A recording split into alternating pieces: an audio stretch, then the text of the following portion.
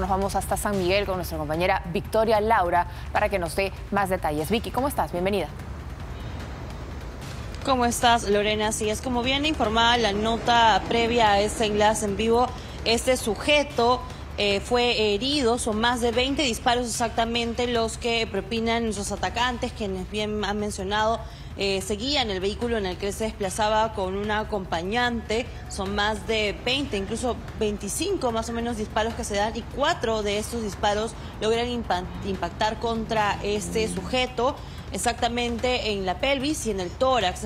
Es, por esa razón es que es trasladado hasta aquí una clínica en San Miguel donde se encuentra recuperándose frente a esos impactos. La información que hemos tenido es que eh, eh, las lesiones que le han ocasionado los disparos no han comprometido ningún órgano en particular y él se encuentra dentro de todo estable. Sabemos también que su acompañante, esta joven, ella también ha sido trasladada al hospital Loaiza y también se encuentra recuperándose en dicho centro médico. Lo cierto es que la de Pincri del Callao es quien tiene a cargo este caso, el vehículo involucrado ya se encuentra allá.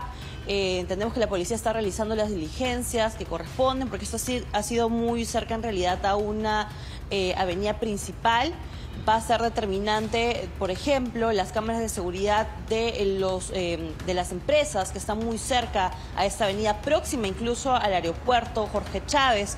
es una vía rápida, hay cámaras de seguridad de algunos negocios que probablemente, perdón, de algunas este, fábricas que van a ser muy importantes para poder eh, determinar en todo caso quiénes eran esos atacantes, desde qué punto venían siguiendo a este eh, sujeto denominado el gordo Guara. Lo cierto es que en alguna oportunidad se dijo que él era como el sucesor de Caracol, pero en realidad no es tanto así. Él sí eh, estaba encargado de acondicionar por ejemplo, esos containers en los que se traslada gran cantidad de droga a mercados internacionales y también se dedicaba a ver el flujo de la venta de esta droga a diferentes países, como por ejemplo Estados Unidos, a varios países de Europa, donde se eh, distribuía esta droga, estos lotes, son como ladrillos, como ya hemos visto en varios reportes que hemos realizado, informes que hemos realizado en Latina, son unos ladrillos que se acondicionan en los containers y también eh, se mencionaba que en la oportunidad en la que él fue detenido, por ejemplo, en el 2023,